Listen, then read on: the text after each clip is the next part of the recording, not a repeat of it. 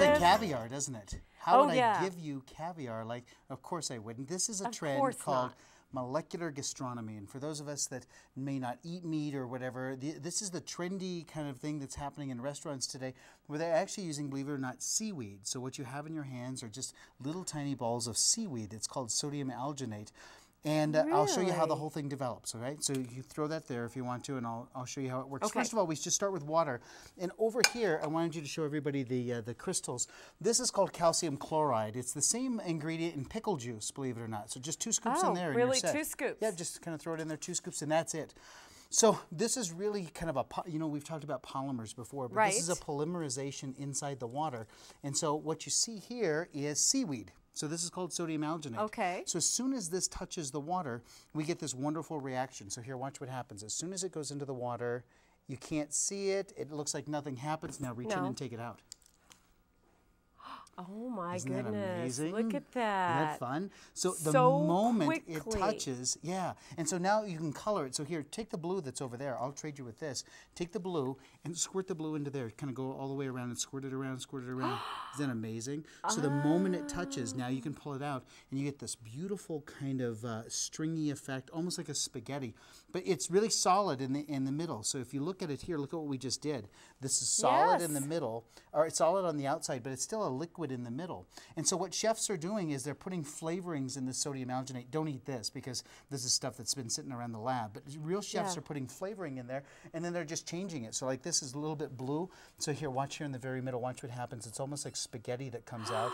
There's the hit. Isn't Oh. that amazing? So the moment goes in, and it's there. You almost get like angel hair pasta. Yeah, so it's all about the presentation anyway, is. isn't it? Well, I'm not when sure you you're go gonna to a eat that in the first place, right? But still. Now watch this. This I love this one here. So in the very middle here, when this gets turned over again, it's still that same kind of goo that's there. But when you drip into the very middle like this, it forms perfect little spheres.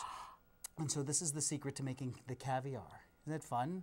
So you see a lot of it right now kind of showcased on the Food Network, and we were fortunate a couple years ago to have the producers from when the Fo- Food Network shows come to our, our lab here in Englewood and be able to see some of it. A big push right now is liquid nitrogen. So if you head down to the place on Pearl Street, um, there was this wonderful smoothie place that does um, liquid nitrogen milkshakes. And so that's part of a molecular gastronomy. And you're supposed to use power tools, and you're supposed to use uh, a drill and liquid nitrogen to freeze the ice cream. If you go to H Burger, you can have the same kind of thing. But now we just kind of scoop these out, and so there are your little caviar eggs that were there before, and you've got it. Isn't that amazing?